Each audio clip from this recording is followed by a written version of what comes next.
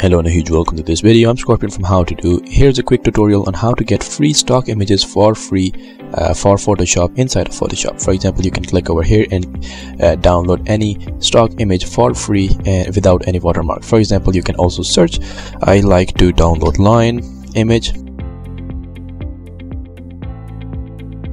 You can find any kind of uh, image for free and they are all high quality for example if i want this image right here i can just click to insert and it's gonna download it real quick import it inside of photoshop for free without any watermark and it will be uh, really awesome. So i can just say control t resize it. Voila there it is.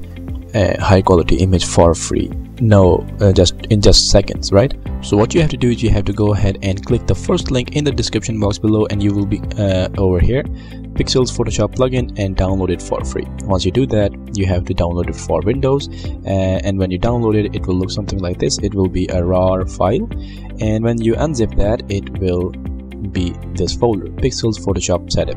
You have to just double click that and you will find this guy. Yeah there are a whole lot of things over here but you have to just double click this Pexels photoshop setup double click that and yeah that is it yeah everything is installed. And it also gives you a instruction restart the photoshop uh, application and then go to window extensions and uh, Pexels and then enjoy. One thing you do have to do is to make a an account in Pexels and then uh, you will be good to go. By the way this video is not sponsored uh, sponsored by Pexels. Uh, anyway so you can go to window just restart the photoshop and then go to window extensions Pexels and there we have it.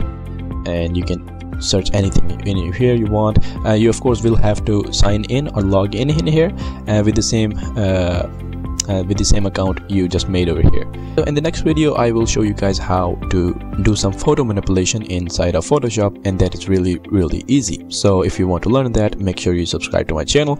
I also make tutorials on how to make games and the these tutorials are also coming soon. Uh, so yeah just just subscribe to my channel if you are interested. And yeah that's it